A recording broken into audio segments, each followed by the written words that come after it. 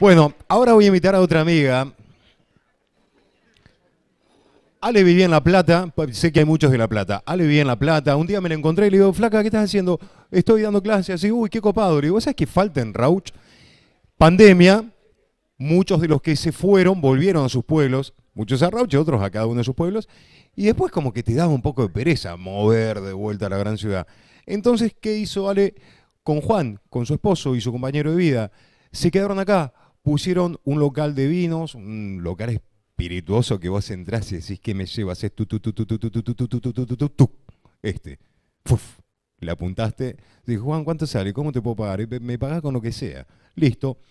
Y Alejandra empezó a trabajar en redes sociales y dio vuelta muchísimas empresas de Rauch. Lo que viene a hacer, Ale, es mostrarnos un poco el mundo digital, el mundo de las redes sociales y cómo podemos potenciar nuestra producción. Fuerte el aplauso para Alejandra Lagoña, una amiga de nuestra casa.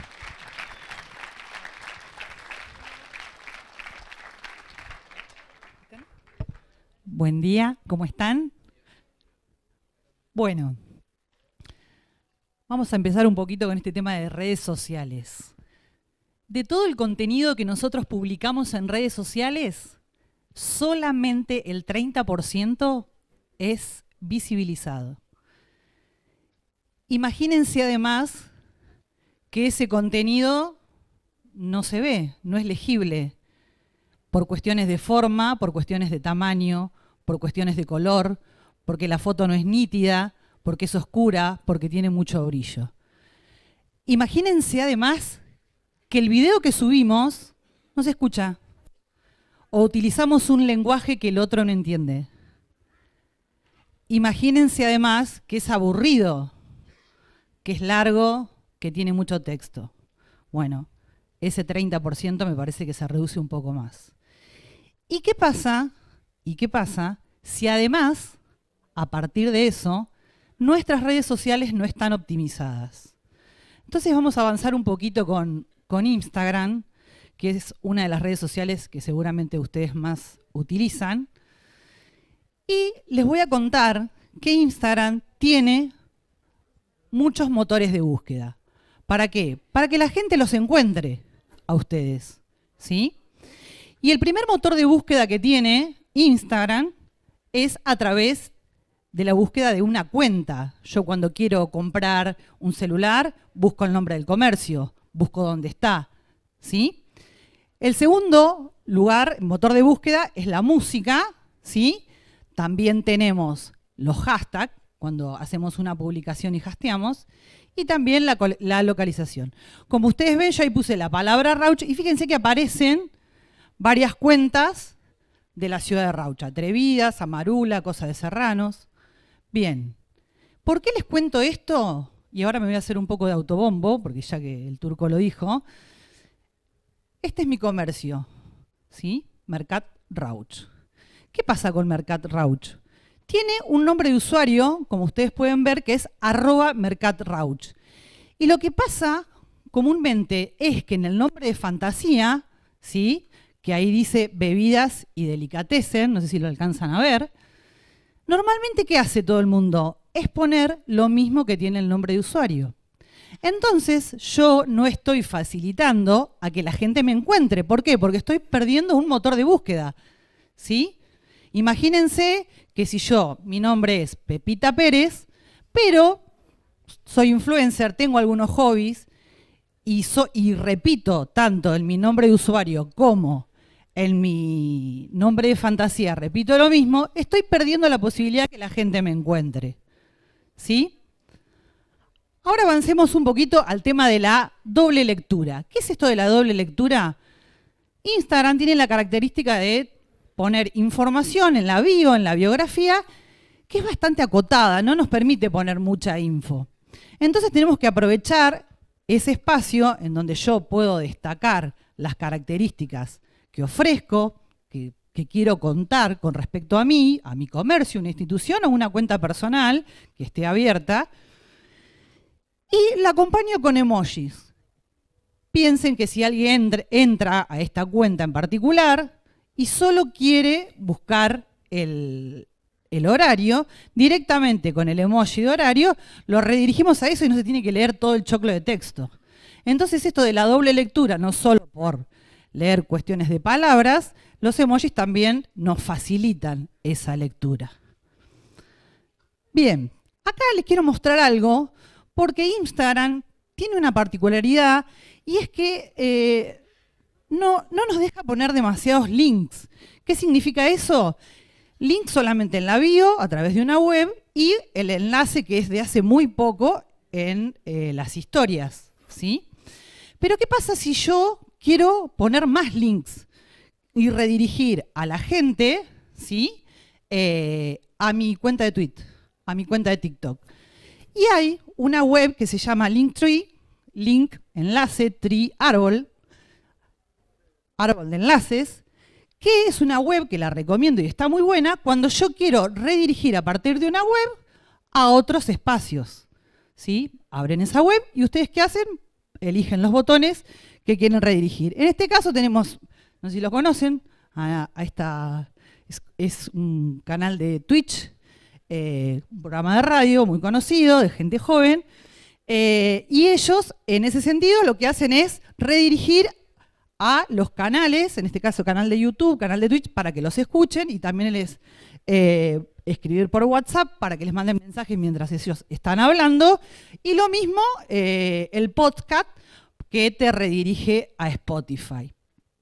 Bien, digo, es una buena opción en ese sentido para poder redirigir desde mi cuenta de Instagram a otras redes sociales que yo tenga.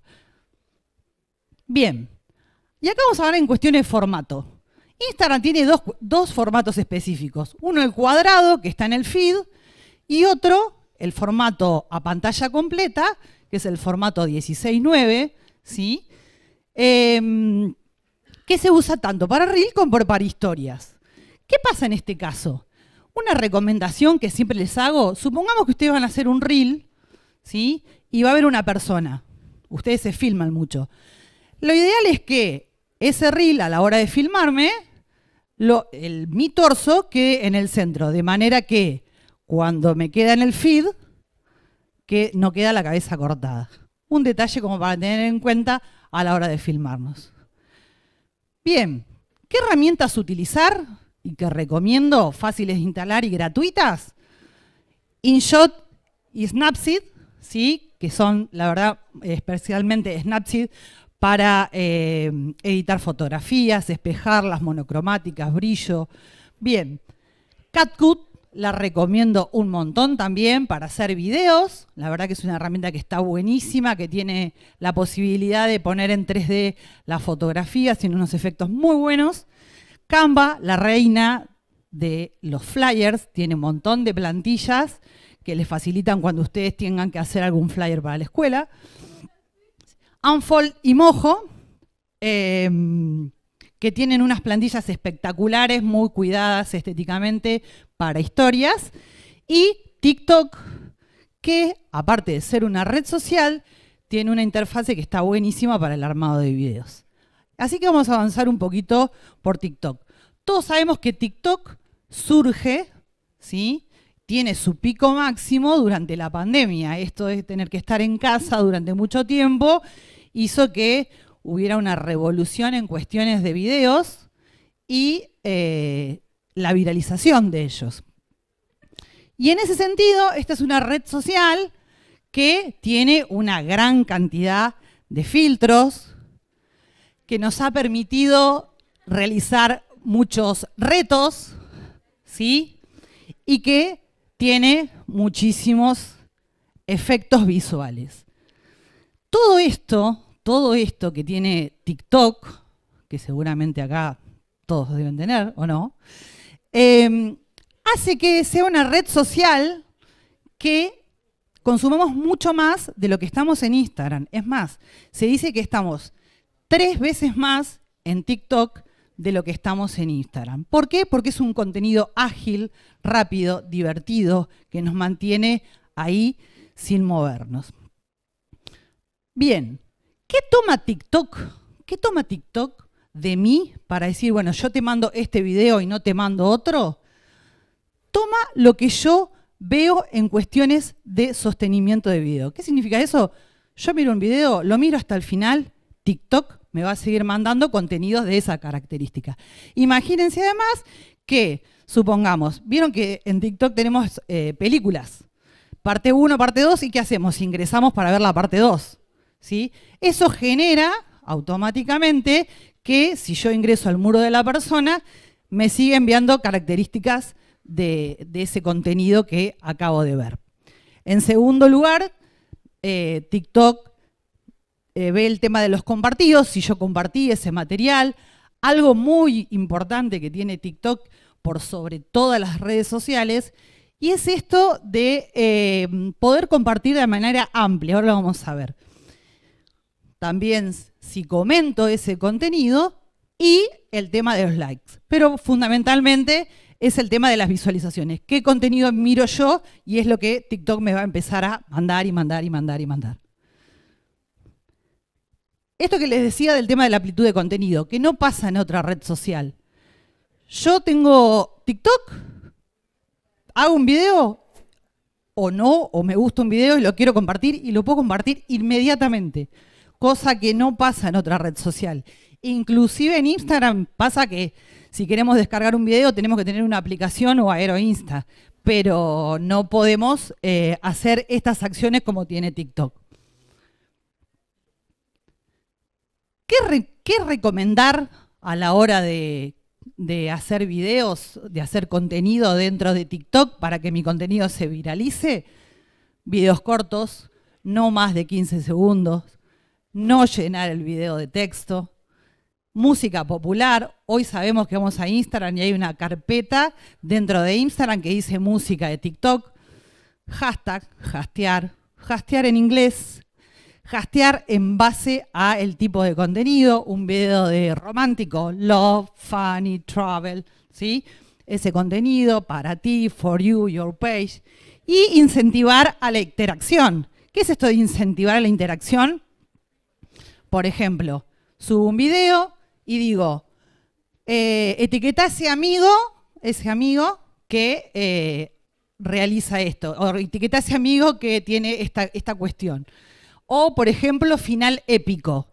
Cuando ponen eso de final épico es para que te quedes hasta el final y capaz que el final no tiene nada de épico, o no. Bueno, estas son algunas de las cuestiones para tener en cuenta en cuestiones de TikTok. ¿Qué decirles? redes sociales muy utilizadas por ustedes y aprovechen esta oportunidad en base a los tips que acabo de darles para generar contenidos de la jornada del día de hoy y etiquetar al IPCBA. Muchas gracias.